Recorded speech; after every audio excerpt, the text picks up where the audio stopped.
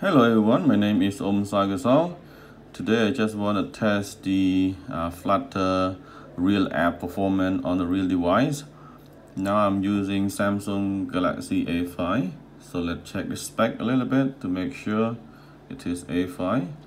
You can see this is Galaxy A5 and uh, Android 7. So I, I believe the RAM is only 2 gigabyte. So let's try to install it. Okay setting now I have to choose the unknown and then install here. Actually you just plug um, the the emulator into the real device is okay but I just want to show you if you want to install like like that you know like the real application. And let's see the performance. Okay I have a slideshow here. As you can see you have a blank screen after one slide to another a little bit here. And okay now let's go back to the first uh, slide. Let's see if you have any problem now. Okay so it has a bit of the problem when you have a slideshow.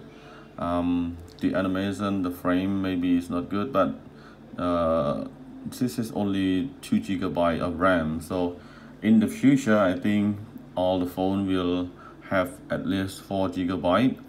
So the flutter you know can be the future of the mobile you know android uh, programming language. So if you scroll down while the slide is moving so you have a little bit like a slack here. And click here go back. And if I press the back here looks fine you know. No problem at all. Okay. It's good. If I pull down here it's okay. So here is good. And I just want to show uh, show you this you know to see the real performance because uh, a lot of you might uh, choose Flutter for your you know your client.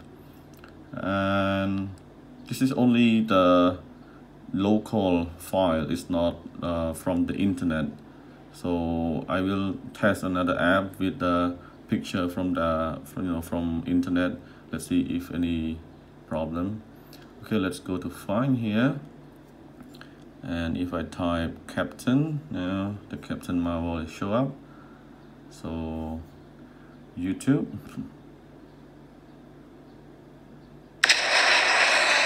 Okay it's good let's go back and this is the you know recent history. You can click here you can go back there as well.